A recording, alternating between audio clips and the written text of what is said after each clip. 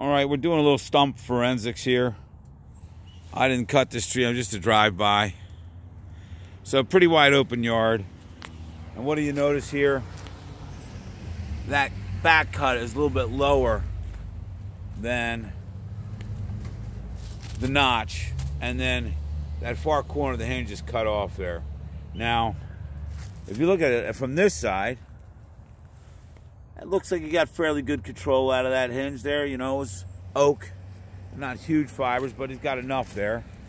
The truth is, it didn't really matter because he had such a wide open drop zone. But this would not be considered an, an optimal hinge if you were in a tight drop zone. You'd want to make sure that hinge was either going all the way across completely or that you matched up. If you took a little bit off of that side, you're going to take some off of this side too. And then have yourself a post in the middle evenly. But that's called a Dutchman there. This is probably an intentional Dutchman. In other words, he probably cut that corner of the hinge off on purpose because his bar was a little short here. I did that one time and done it many times in, in my earlier career, and it turned out fine. And then the one time that it didn't, that little bit of corner cut off the side of that hinge ended up closing early and turned the tree this way like maybe 10 degrees. And the tree hit a stump and rolled into a house. So that was a hard lesson learned there. Anyhow, the point I'm trying to make is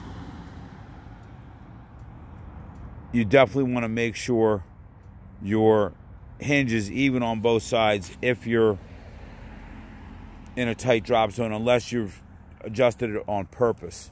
This one is is not. And then the low back cut issue, really the deal with the low back cut is that when you have a low back cut, it takes more force to pull these fibers over to, to break those fibers takes a lot more force than if the back cut is level or a little bit high. And I actually have tried to use that to my advantage in the past uh, to to uh, hold more on a side of a tree that's that's uh, that's a side leaner. But in general, that's not what you're looking for.